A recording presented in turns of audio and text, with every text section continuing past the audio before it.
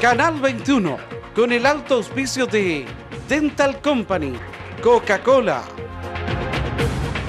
Presentan Noticias 21.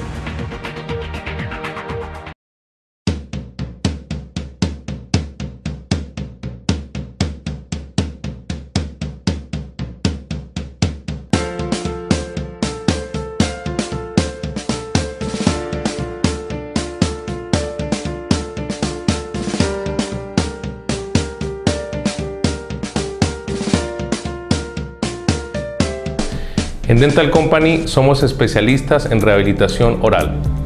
y apoyados en la tecnología podemos ofrecerte soluciones para reparar tus dientes dañados o reemplazar aquellos que se hayan perdido, pasando por carillas, coronas libres de metal diseñadas por computador hasta la solución de reemplazo de dientes con implantes dentales, que consiste en instalar tornillos de titanio a nivel del hueso del maxilar para posteriormente colocar las coronas en porcelana que se semejen a la naturalidad de tus dientes. Por eso y por mucho más, en Dental Company ahora es más fácil sonreír.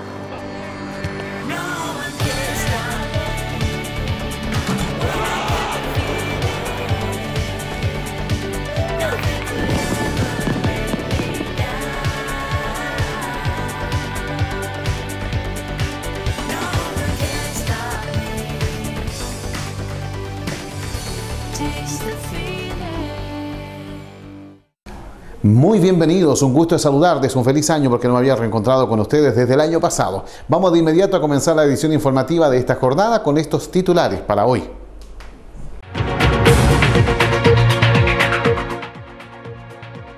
Autoridades se refirieron a los incendios forestales que han preocupado a los habitantes de la capital de la provincia de Ñuble. Autoridades de Gobernación y del INE sostuvieron nuevo encuentro de coordinación a puertas al censo 2017. Un balance y la preocupación por el abandono que tiene Ñuble formuló el ex consejero regional Gustavo Sangüesa. Consternación causó en pleno centro de la Plaza de Armas muerte de ciudadano fallecido en un fulminante ataque cardíaco.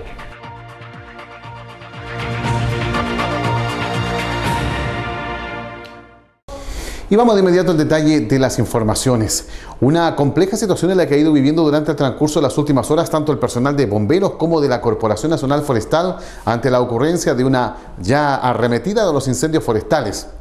De hecho, en las últimas horas una serie de llamados han tenido que ser sofocados por la institución que en una completa coordinación han comenzado su trabajo. No obstante, el comandante de bomberos de nuestra ciudad de Chillán, dio a conocer eh, algunos antecedentes. Se trata de Esteban Abarca, quien dio a conocer un balance de lo que han sido los incendios y al mismo tiempo un llamado a la población, fundamentalmente para respetar lo que son los teléfonos de la institución bomberil y evitar pitanzas como lamentablemente se han registrado. Veamos lo que nos dijo Bomberos a propósito de estos balances.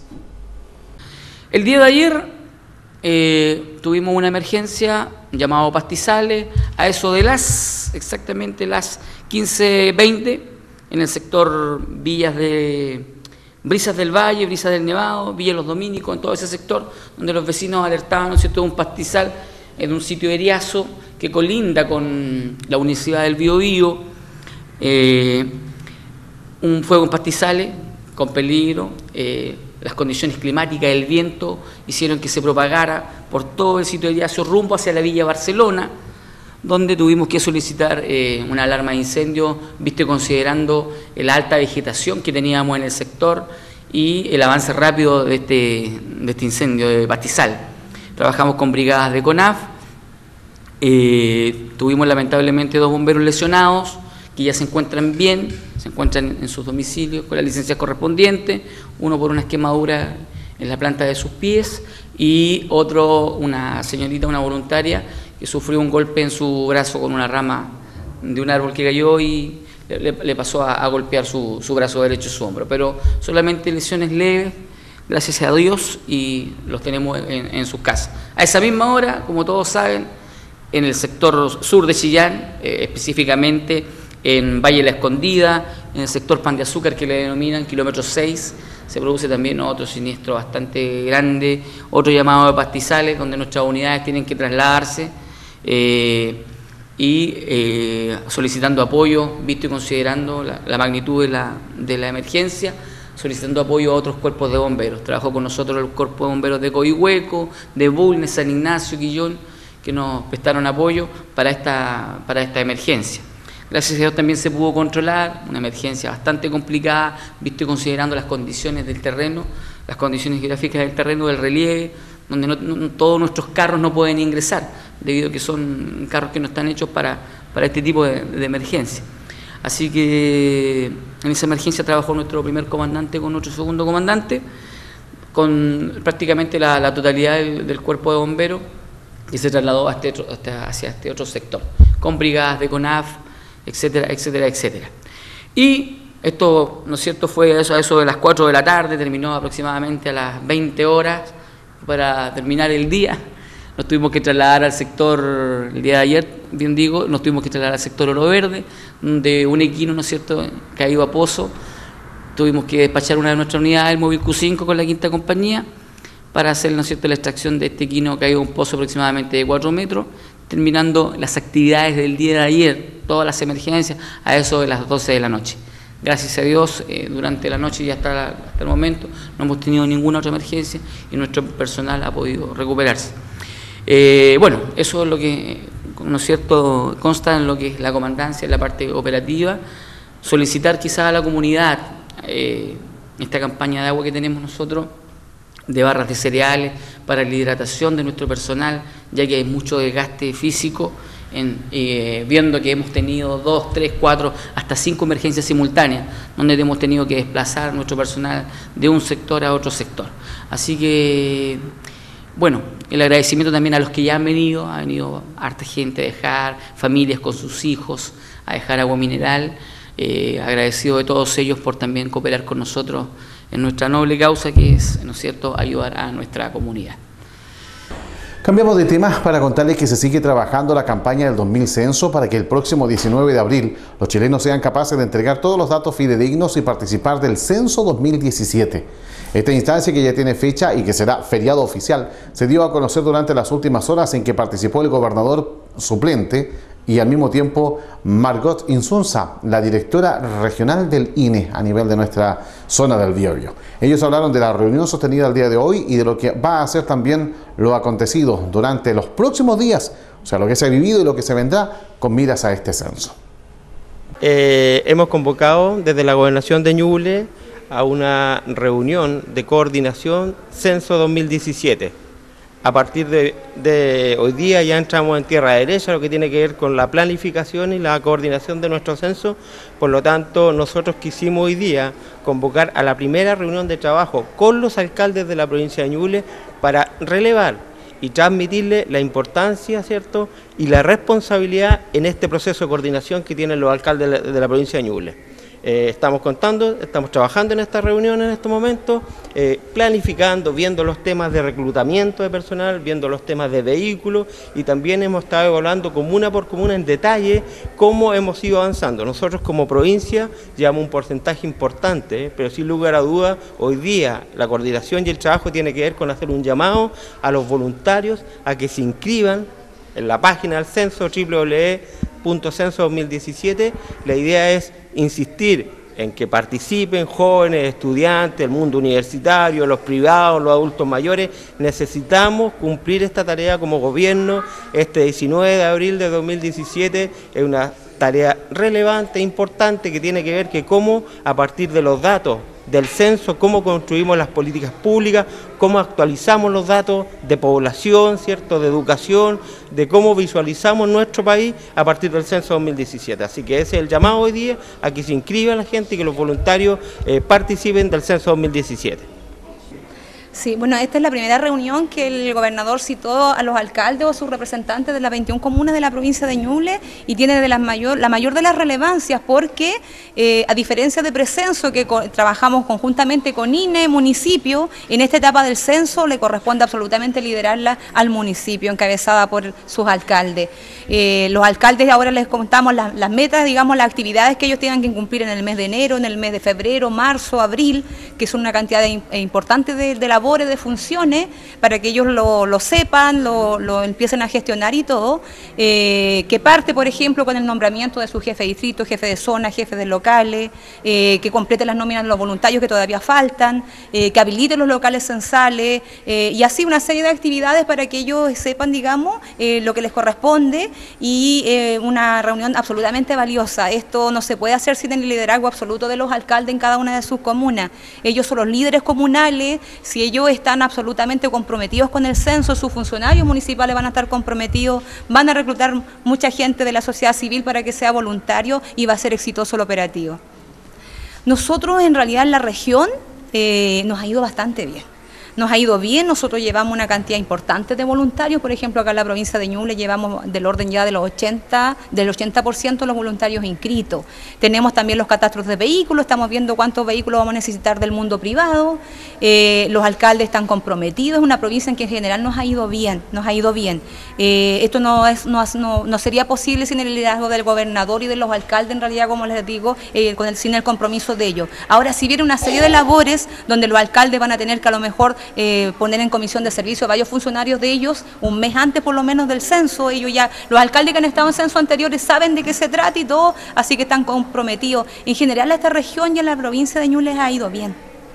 Volvemos al tema de los incendios forestales. Todo indica que la preocupación de las autoridades está centrada en la ocurrencia y también en la prevención de los mismos. Esta mañana conversamos con Gilda Grandón, la directora regional del, en este caso, órgano importante de la ONIMI en la región del Biobío, quien habló un poco de los incendios, de lo que ha sido la gran mayoría con fallas o recurrencias humanas. Vale decir, detrás de estos hay responsabilidad del ser humano. Veamos lo que dijo la directora de ONIMI. Bueno, eh, ¿qué, les puedo contar? Estamos en el periodo que llamamos de máxima exposición a incendios forestales, eh, en que lamentablemente seguimos teniendo ocurrencia de incendio y todos sabemos que eso no lo genera ni la condición meteorológica eh, ni el tipo de vegetación que tengamos, sino que una, el inicio del fuego es siempre una causa humana. Puede ser accidente, pero también puede ser intencionalidad. Eh, frente a eso eh, es, eh, fundamental seguir fortaleciendo la, prevención a través de la sensibilización, pero también por el otro lado la investigación de incendios forestales, los castigos que contempla la legislación por supuesto, todo lo que se puede hacer en materia de mitigación, como lo es lo que llamamos silvicultura preventiva, la, construcción preventiva de cortafuego, eh, prácticas eh, preventivas en, materia de, cultivos, eh, de ir mezclando em, vegetación, de ir matizando entre alturas de tipo de vegetación, para que no tengamos frente a un incendio que ya se inició, eh, una continuidad tan, tan importante de combustible. Pero además, eh, como todo en ámbito de la gestión del riesgo, también hay que estar preparados para combatir esos incendios y esa preparación eh, existe todos los años, es prácticamente continua. está dispuesto el sistema básico de protección frente a incendios forestales que cada vez además es más robusto por la mayor cantidad de recursos que tiene CONAF, pero también por un eh, por un fuerte mm, aumento de recursos eh, con especialidad forestal que tienen los bomberos, eh, dado también el incremento de, este riesgo que provocan los incendios forestales que están cerca de, las zonas pobladas. Em, y también están todos dispuestos los protocolos para que frente eh, bueno, también están los sistemas de protección propios de las empresas forestales eh, y también están los protocolos definidos para poder, eh, frente a situaciones de emergencia que sobrepasan la capacidad de respuesta de este sistema básico, poder adicionar recursos, como lo hemos hecho ya en algunas oportunidades durante este periodo. Bueno, en este minuto no le puedo entregar la información, esa información que, que posee CONAF y además que es bastante dinámica. está nosotros tenemos del orden de 8, 10 eh, focos diarios solo en el ámbito CONAF, a los que hay que sumar muchos otros focos que atienden solo las empresas forestales y otros focos que también atienden solo bomberos. Por lo tanto, decirle con certeza hoy cuántos focos de incendio hay, en este minuto no es posible solo decir que no tenemos ninguna situación de focos de incendio que tengan amenaza a vivienda, que es lo que, es una de las prioridades de protección eh, que tiene todo el sistema y tampoco tenemos focos que estén amenazando áreas silvestres protegidas y ninguna, eh, ninguna situación o ningún predio estratégico. Vamos a cambiar radicalmente de temas para decirles a ustedes que por lo menos durante las últimas horas un dejo de olvido a la nueva región del Ñuble dio a conocer, por lo menos sin impresiones, Gustavo Sangüesa. El ex consejero regional hizo un balance de lo que fue 2016 y criticó que durante el actual gobierno se están olvidando de algunas cosas de Ñuble, temas pendientes como el hospital y otros sin duda son un dolor de cabeza para las actuales autoridades. Veamos lo que dijo el propio ahora ex consejero. Bueno, al hacer un resumen de lo que ha sido el año 2016 para Ñuble principalmente, nos damos cuenta que Ñuble ha sido olvidado por parte del gobierno, por parte de la nueva mayoría, por parte de la izquierda de este país, y también la agricultura de, Ñuble también ha sido olvidada. ¿A qué me refiero con esto? Primero, el proyecto del hospital de Ñuble no avanzó. Segundo, el proyecto de la cárcel para la provincia de Ñuble, que lleva trabajando hace tantos años, tampoco ha avanzado absolutamente en nada. Las promesas que se hicieron respecto a los caminos de Ñuble, principalmente, y me refiero a la ruta que une Chillán, Yungay, con todas las comunas que están ahí, tampoco ha avanzado absolutamente en nada. También la promesa del puente mecano quedó diluida en una promesa y al final técnicamente se dijo que no podía y, se tomó una decisión de dividirlo en muchas partes y que no favorecen a lo que nosotros pretendíamos, que era que se instalara en eh, el río Itata, en, la zona que tiene eh, de la comuna de Trehuaco con Coelemu y, y Copquecura, que iba a permitir un desarrollo en esa, en, esa zona que ha sido tan eh, olvidada en el último tiempo. Por eso creo que Ñuble olvidado refleja un poco lo que ha sido el gobierno de la nueva mayoría para Ñuble, y solamente el proyecto de Ñuble Región es el único proyecto que ha avanzado, pero que tiene que ver con los parlamentarios, donde los cuatro parlamentarios de la región del Biobío han tomado el liderazgo en este tema y se ha logrado avanzar y esperamos que el próximo martes sea aprobado. Pero en conclusión, tenemos para los agricultores, eh, se han olvidado de lo que está pasando con el precio de los arándanos a nivel internacional, con el precio del trigo, con el precio del maíz, y más encima para coronar todo esto, se le pone suma urgencia a un proyecto que todos sabemos que es nefasto para la agricultura de nuestra futura región, como es la reforma al Código de Agua. Por eso yo creo que Ñuble Olvidado refleja lo que ha sido el año 2016 para todos los habitantes de la provincia de Ñuble. Esperamos y tenemos fe y vamos a hacer todos los esfuerzos y toda la cooperación posible para que el año 2017 podamos colocar a Ñuble en el sitial que se merece. Creo que la fuerza que tienen nuestros diputados en la zona no es la necesaria ante un gobierno que se ha olvidado de esta provincia. Creo que necesitamos parlamentarios que efectivamente coloquen los intereses de la provincia de Ñuble en el, tapete para que efectivamente podamos traer soluciones a las problemáticas que tenemos en este momento. Pausa y volvemos. Seguimos trabajando con ustedes en esta edición informativa aquí en Canal 21.